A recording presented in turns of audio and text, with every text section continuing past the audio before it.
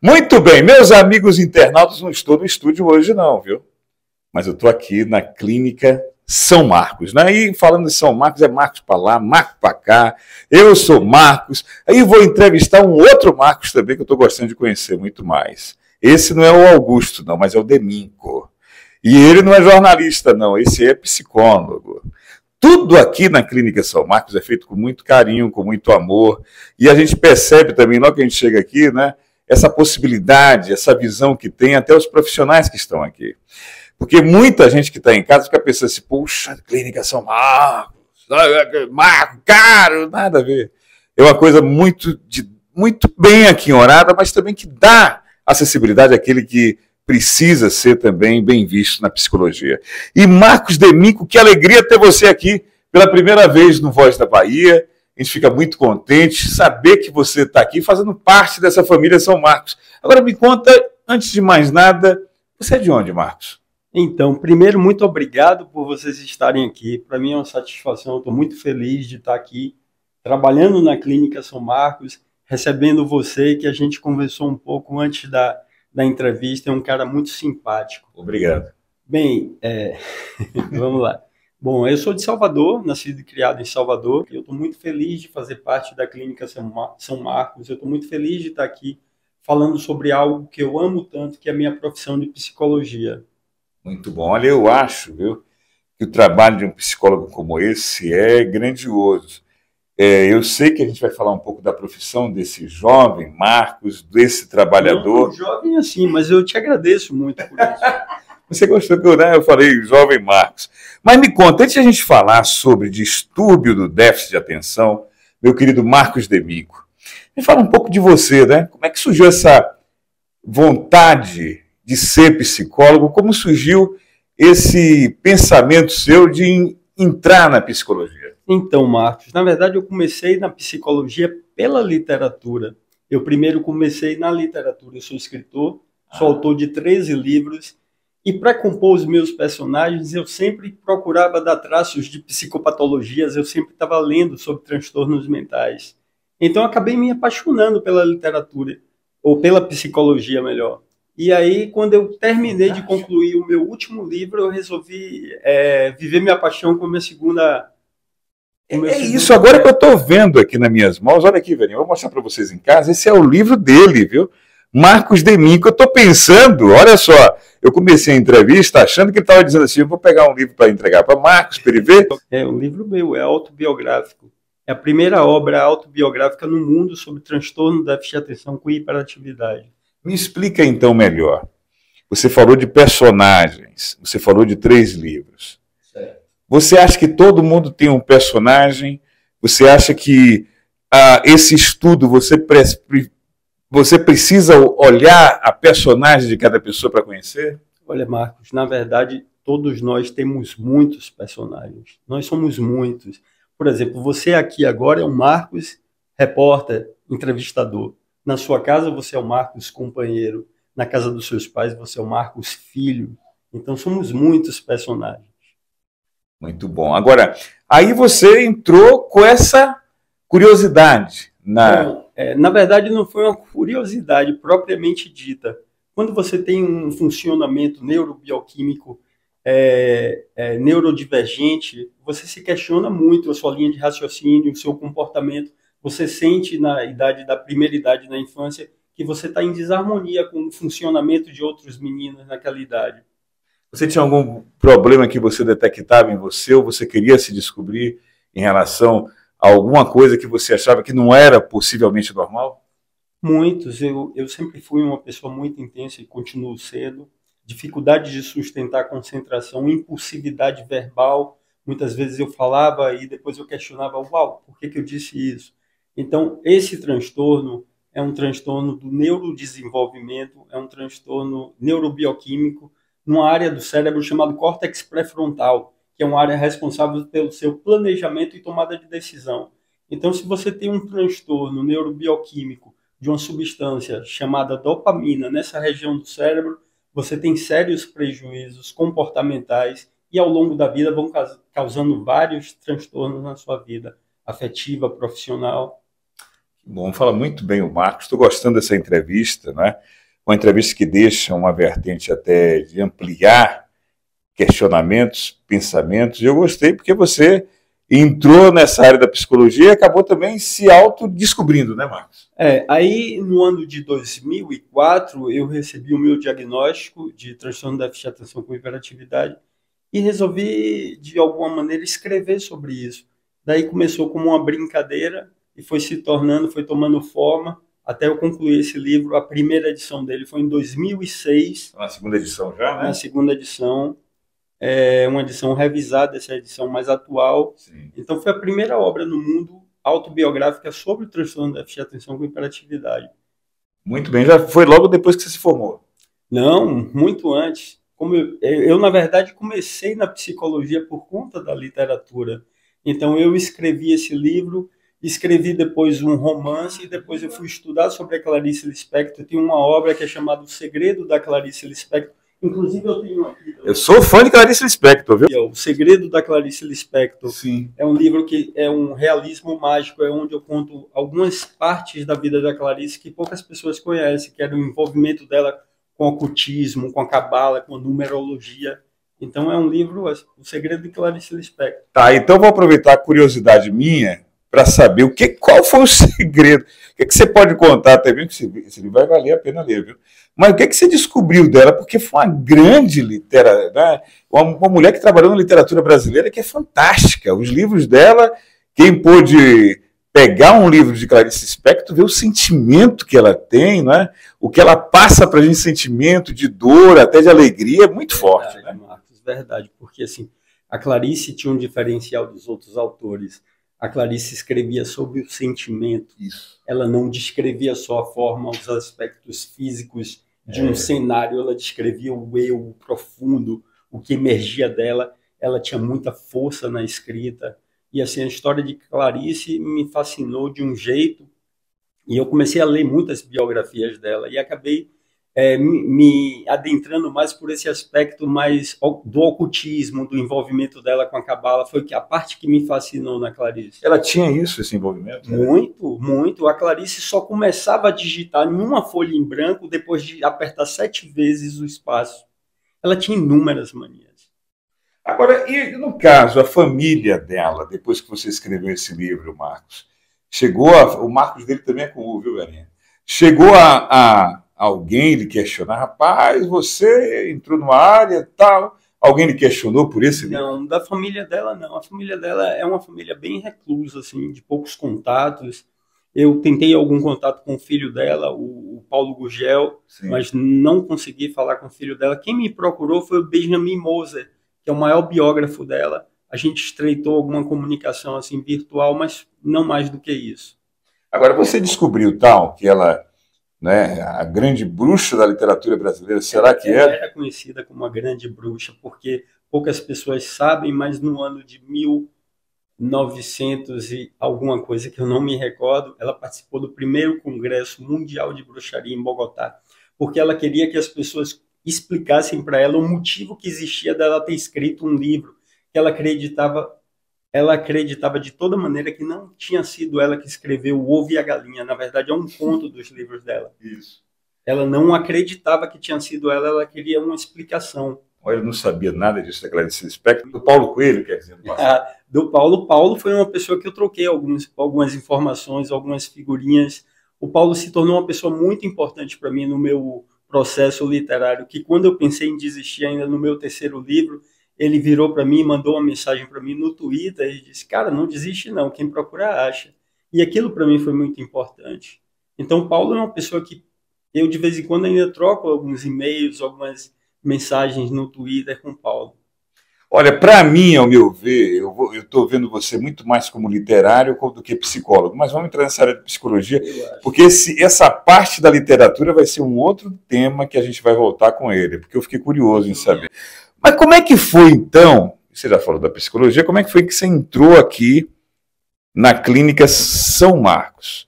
Quem descobriu quem? Você Como é que foi esse casamento? Foi, foi através de você ou através deles? Não, de certa maneira, minha companheira é a gestora daqui, a gestora administrativa, e a gente trabalha em psicologia. Sua esposa? Sim, a gente trabalha com psicologia há muitos anos.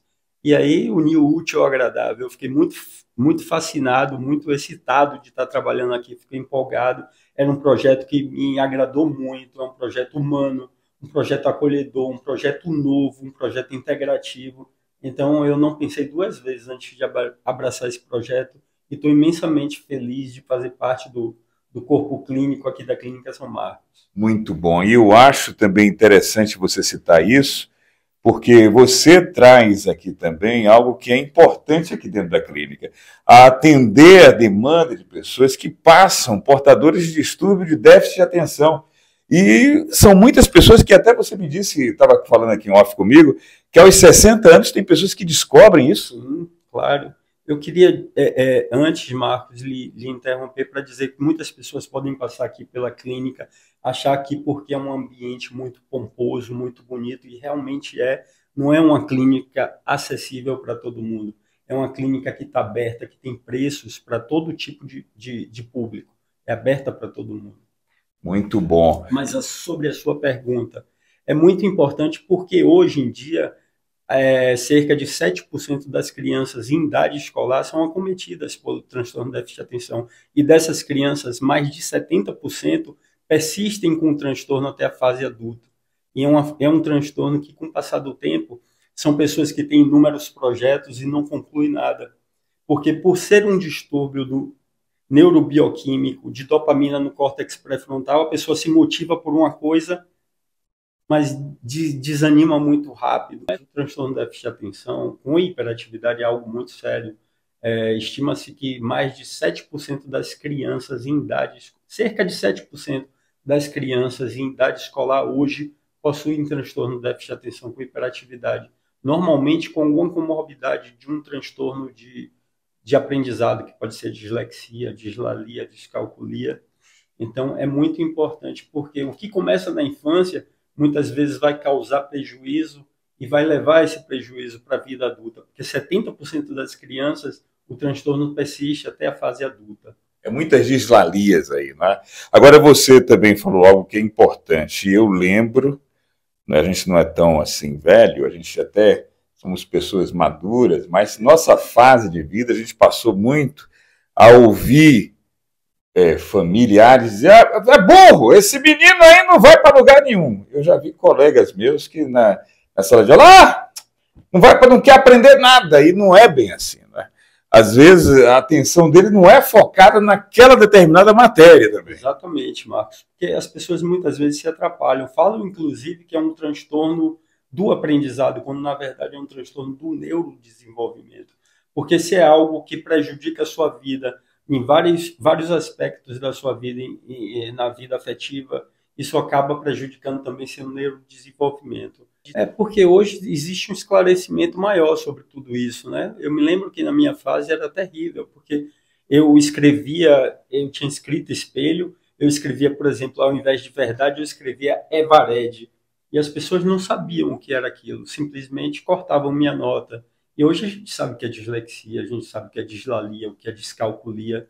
E o transtorno do déficit de atenção é algo muito severo, porque a pessoa tem uma dificuldade de sustentar a concentração. Na verdade, o termo déficit de atenção não é muito feliz, não contempla isso, porque a pessoa não tem um déficit, ela tem uma dificuldade apenas de sustentar a concentração, sobretudo na aquilo que, a, que ela não tem muito interesse. Nos aspectos que ela tem interesse, como a gente estava conversando, um xadrez ou alguma coisa assim, ela fica hiperfocada. Ela se concentra mais do que qualquer pessoa. É mais ou menos isso. Estou gostando desse papo, ô, Vera, a gente vai levar, tem que levar Marcos lá. Você, cara, está me impressionando. Primeiro, porque você traz nessa entrevista duas vertentes que me deixou, sabe, é, assim, meio que feliz e ao mesmo tempo mostrando que você batalhou para descobrir o que você tinha.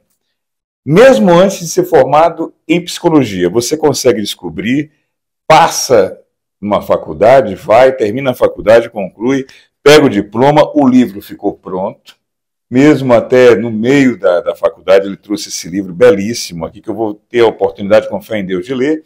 E depois ele escreve também sobre o segredo de Clarice Lispector. Trabalha aqui na Clínica São Marcos, disse para mim que não é caro, não. Viu? Consulta aqui não é. Então você venha, porque às vezes você pode ir para outro psicólogo e dizer, ixi, Marco escreveu dois livros, e aí? Seu xará vai cobrar muito. Ele que estudou muito, você sabe que ele fala bem, né? E você viu, Marco, e aí, será, Marco, que eu vou deitar naquele divã e vou ficar como? E aí, não, fique tranquilo. Aqui na Clínica São Marcos, você vê que tem pessoas, a gente vê da esposa dele, da, desde a recepção, e como a gente chega aqui, como a gente se sente realmente em casa, com pessoas que parece que a gente conhece há muito tempo. E aí você traz essa, essa ideia do que você passa, do que você sofre, diante de dilemas de pessoas que estão passando por esse problema. O que, que você fa falaria ali para aquele pai, aquela mãe, ou até mesmo uma pessoa mais idosa que está enfrentando problemas como esse e que não sabia? É, é, importante a pessoa procurar um profissional né, especializado, porque assim, eu costumo dizer sempre que problemas todo mundo tem, mas vai ao psicólogo quem quer resolvê-los. Então, de repente, você procura uma ajuda de um especialista no assunto, você descobre que não é isso tudo. É muito bom quando você descobre que tem uma explicação para aquilo que você pensa, pensa, como você age, o seu comportamento. Então, o processo de se, se reconhecer nisso ele é muito importante também dentro do processo terapêutico. Tem pessoas que vão me perguntar nessa entrevista se você trabalha também com pessoas com depressão, pessoas que auto se mutilam. Você vê pessoas que estão passando por certos dilemas, ansiedade no mundo atual, problemas de ansiedade, pessoas que precisam de uma ajuda realmente de um psicólogo? Marcos, eu vejo que, é, por exemplo, durante a pandemia, né, a gente acreditava que as coisas estariam melhor depois, que as pessoas ficariam mais humanizadas. Verdade. Mas se parar para pensar, as coisas pioraram um pouco, né? As pessoas estão mais ansiosas, estão mais depressivas. Então, eu acho que, de certa maneira, o período da pandemia também potencializou mais aquilo que já existia dentro da pessoa. Sobre a sua pergunta, muito bem feita, inclusive, porque eu trabalho com depressão, com ansiedade, com todos os tipos de transtorno, é, mas eu sou especialista no transtorno da de atenção com hiperatividade. Muito bom. Olha, gente, eu quero aqui também ressaltar que muita gente fica aqui pensando, ah, porque é psicólogo para maluco, não sei o que, não, tira isso da cabeça. Eu acho que todos todos, indistintamente, se puder sim para o psicólogo, tentar se descobrir, era de fundamental importância. Muita gente acha, não, porque não precisa, eu sei quem eu sou, e você não sabe às vezes. É a necessidade de você se conhecer. Não é? A gente, você às vezes tem vários preconceitos, coisas que você às vezes faz, ou pensamentos ou dilemas que você diz, ah, isso aí, cuidado, e leva muito para o lado espiritual. Obviamente que o lado espiritual ajuda, é importante você acreditar num Deus, mas é importante também você dizer, Senhor, eu preciso também que o Senhor me ajude nesse ponto que eu já me conheço, porque foi através de uma ajuda de um psicólogo, um psicanalista, que você pode trabalhar o seu eu e se conhecer certos dilemas, limitações que você pode enfrentar ou que você enfrenta. Perfeito, Marcos. Porque tem coisas que não são na mesa do bar, né? Não é com um amigo, não é com a família. Tem coisas que você, no mundo que a gente vive hoje, é muito delicado você expor suas fraquezas, seu ponto fraco. Não é? Você fica vulnerável em sociedade. É verdade. Então, é, tem questões que não é numa roda de amigos, não é no bar. Tem questões que é bom você estar tá acompanhado por uma pessoa que vai acolher a sua fragilidade, muito que bem. vai ter uma escuta humana para o seu problema e vai te olhar de uma maneira diferente. Marcos, eu quero muito voltar de Minco. Eu quero voltar que você vá no estúdio comigo, uma conversa ao vivo, batendo um papo, tirando dúvidas. O pessoal pergunta muito. A gente está aqui hoje no consultório dele, aqui na clínica São Marcos, que fica na Maria Preta, perto da Ritz Academia. Isso, onde você falou exatamente, eu vou estar aqui toda sexta e sábado. sexta e sábado? Sexta e sábado. A partir de que horas, Marcos? É a partir das 8 horas da manhã. Eu venho direto de Salvador e fico aqui o final de semana. Seu, sua consulta não é cara? Não é cara, de maneira nenhuma.